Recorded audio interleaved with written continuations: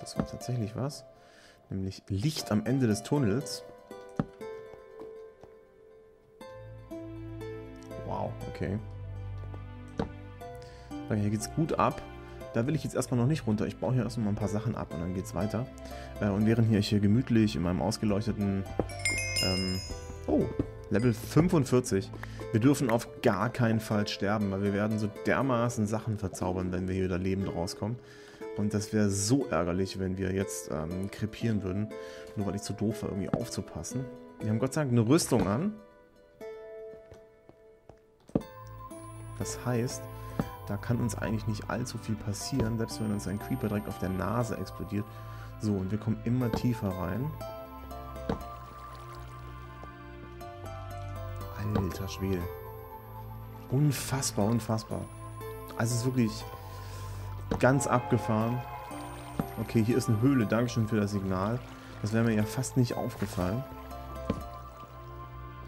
Fände es ja auch ganz cool, wenn wir jetzt noch ein paar ähm, hier vielleicht nicht, äh, wenn wir noch ein paar ähm, Diamanten finden würden. Davon haben wir nämlich noch nicht allzu viele. Zwar acht, aber das reicht natürlich nicht, um äh, unter die Champs zu gehen. Jetzt würde ich mal vorschlagen, bauen wir uns hier mal kurz... Ähm, ah, okay. Habe ich jetzt wirklich in der Tat auch nicht ganz so viel. Stickies, dann machen wir uns mal kurz ein paar Stickies. So, die werden wir auch brauchen, damit das Holz verbraucht. Hier haben wir aber noch Tropenholz am Start. Das heißt, da können wir uns auch noch ordentlich Nachschub äh, bauen. Und ähm, ja, eine Axt brauchen wir nicht, sondern eine Eisenspitzhacke. Schaufel, Axt, Schwert. Vielleicht auch keine ganz so dumme Idee, nochmal ein Schwert zu bauen. Diesmal aus Eisen. Okay, dann diesen Sticky können wir hier, diesen Sticky dort. Dann schmeißen wir das mal weg. Achso, den wollten wir ja auch mitnehmen.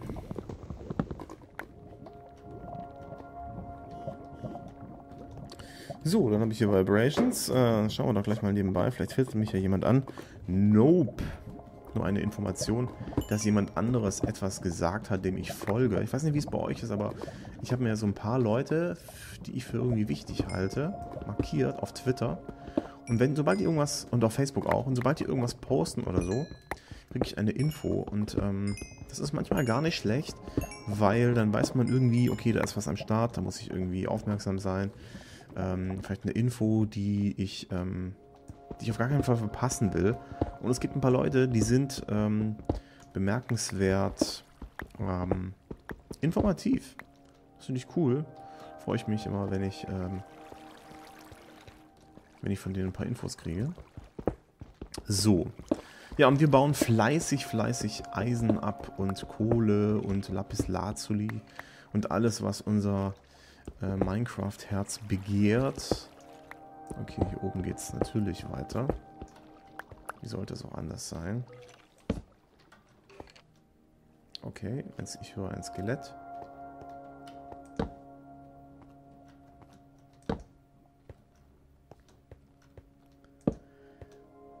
Hier gibt es natürlich fett einfach Zeug am Start, was super geil ist. Ähm, und ich werde auch irgendwann mal, glaube ich, wagen, mich einfach hochzugraben. Ähm, in der Hoffnung, dass ich nicht unter einem Meer rauskomme. Ich weiß dann auch nicht, ob ich das hier machen werde. Während ihr noch zuschaut. Das habe ich ja einmal schon mal gemacht. Ich weiß gar nicht, welche Folge das war. Drei oder vier oder sechs oder so. Ähm, das war auch ganz unterhaltsam, glaube ich. Allerdings hat der Computer da so dermaßen versagt. Ich hatte noch keine Ahnung, ähm, dass es sowas wie Optifine gibt. Ähm, das heißt, die Framerate war extrem schlecht. Ähm, aber man hat echt Fun gemacht. Das war das erste Mal, wo ich mich auch komplett verlaufen hatte und ich hatte irgendwie auch leichte panische Anfälle. Hm. Und ähm, ja, war aber sehr cool, als es dann, als ich mich dann hochgrub und es schließlich dann tatsächlich wieder ans Tageslicht ging. Beziehungsweise es war Meer da und ich bin echt das ganze Meer hochgeschwommen und ähm, ich war dann irgendwie, äh, oder war das ein Meer? Oder kam ich auf einer kleinen Insel raus? Hm. Ich dachte, ich käme auf der, ich wäre auf einer kleinen Insel rausgekommen. Oder war das mehr? Da war doch mehr. Da war doch hundertprozentig mehr. Ihr könnt ja mal nachschauen, ähm, wenn ihr Lust habt. Mal gucken, ob, ähm, ob ich hier jemals wieder rauskommen werde. Ich grabe mich hier jetzt auf jeden Fall auch ganz schön flott ein. Hier haben wir noch Kohle vergessen. Die nehmen wir natürlich mit, weil wenn wir schon mal in der Höhle drin sind, dann wollen wir auch mit fetter Beute nach Hause gehen. In der Hoffnung, wie gesagt, dass wir nicht kläglich sterben. Am besten stirbt man ja in so Höhlen, indem man sich ähm, in Lava begibt. Man droppt dann einfach mal so fett ins Lava. Ähm, und ja, das Einzige, was man dann natürlich davon hat, ist, dass man fett einen zum Lachen delivert. So.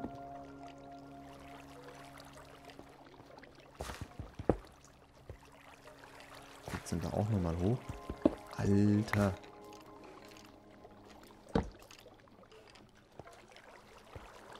Okay, hier höre ich jetzt eindeutig ein Skelett.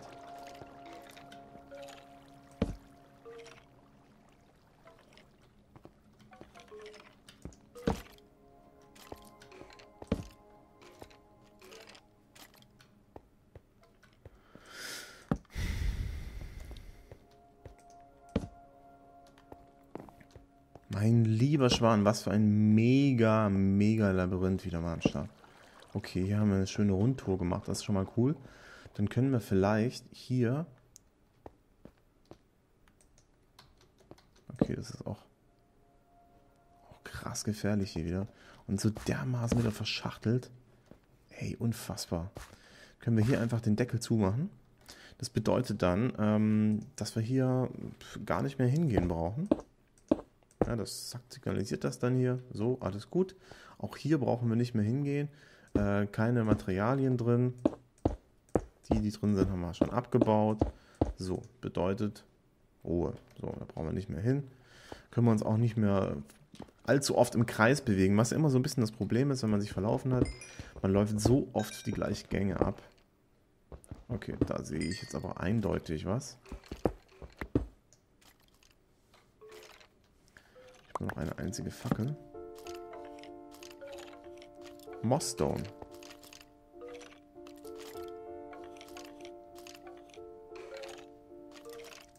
Hier haben wir noch fünf Fackeln.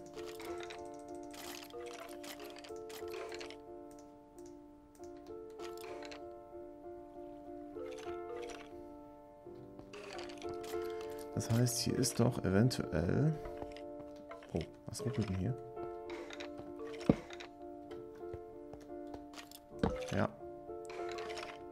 Hier haben wir mit Sicherheit eigentlich ein Skelett. Spawner. Alter Schwede, alter Schwede. Hier sind richtig viele. Also so ein krasses Höhlen, Höhlen Gedöns. Äh, unfassbar. Mir bleiben die Worte weg. Ihr merkt das schon so ein bisschen. Ähm, und ich habe gar nicht geguckt, wie lange ich eigentlich aufnehme. Ich habe keinen, keinen Decker gestellt. Deswegen schaue ich mal kurz. Okay. Äh, zurück zur Geschichte. Das geht so krass geil ab hier. Okay. Ähm, wir werden diesmal nicht allzu lange aufnehmen. Ähm, wie gesagt, ich habe äh, versucht, versuche jetzt auf jeden Fall mal so einen neuen Effekt irgendwie anzubringen. Und ähm, ja, ich würde mal sagen, wir schauen mal, was hier drin ist. Oh, Boah, alter Schwede.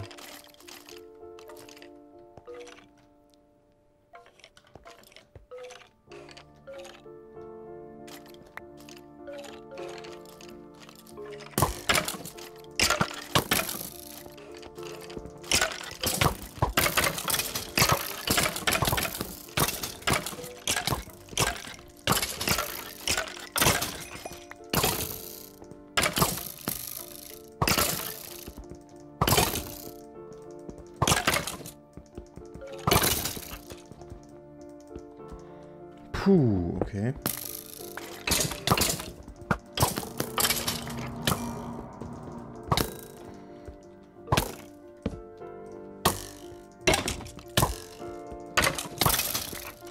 Juhu! Nice, okay, das haben wir noch ganz nett gemacht. Geht's ja echt ganz gut ab hier. So, dann machen wir doch mal hier nochmal ein Fäckelchen hin. Das, trotz meiner Müdigkeit habe ich das einigermaßen gemacht. Oh, für ein verzaubertes Buch. Plünderung 2. Was hat es eigentlich mit diesen Büchern auf sich? Wenn mir das mal jemand erklären kann, ähm, mal ein bisschen zu faul nachzugucken, äh, was es eigentlich damit auf sich hat, kann ich jetzt eigentlich nicht mit Weizen mir was zu essen machen.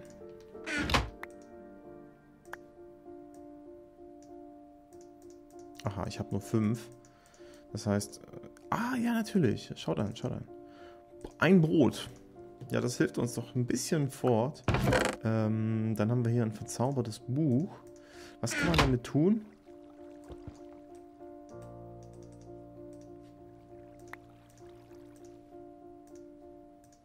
Man weiß es nicht.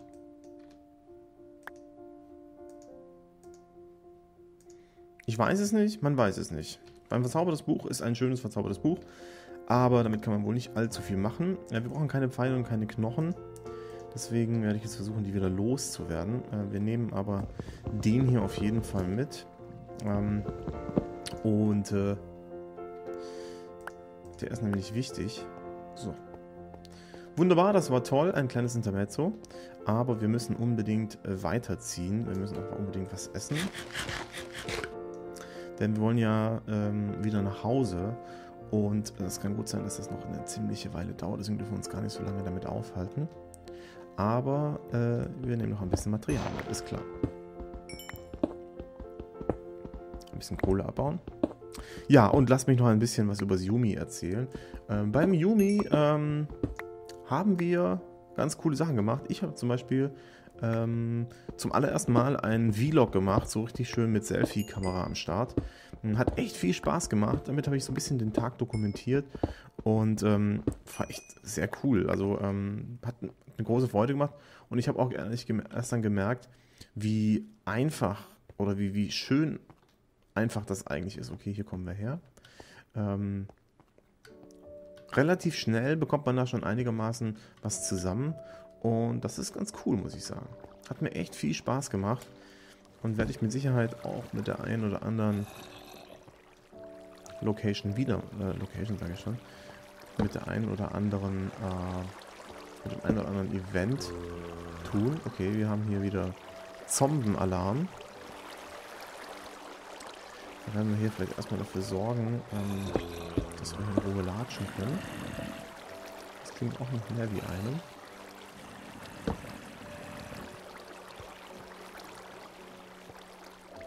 Seid ihr?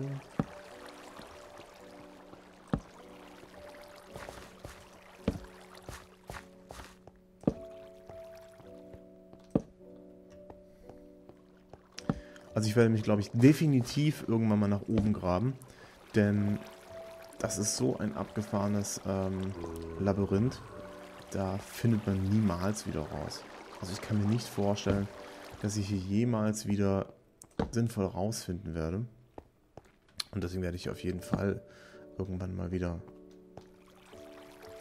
mich rauskramen. Wenn ich sowas sehe, dann kommt da die nächste Geschichte an den Start. Ähm, da habe ich auch, also natürlich, natürlich jetzt auch wieder runtergehen, aber da ist ja noch eine Mine. Äh, oh Gott, echt. Das heißt, wir werden jetzt hier noch so ein bisschen sein, noch ein bisschen das einsammeln. Wir haben ja auch noch ein bisschen Zeit und dann dann noch versuchen, hochzuklettern. Und ich glaube, ich sehe da hinten einen Spawner, ähm, einen Zombie-Spawner in der Ferne glitzern. Und den werden wir dann...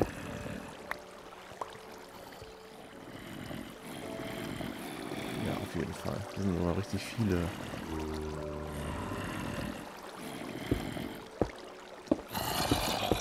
Boah. Alter Späte. Kommen die jetzt angelaufen?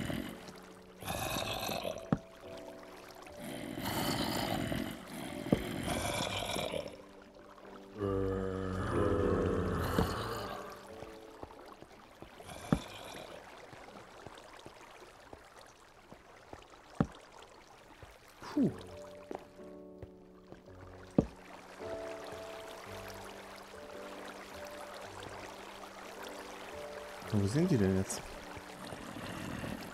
Oben vielleicht?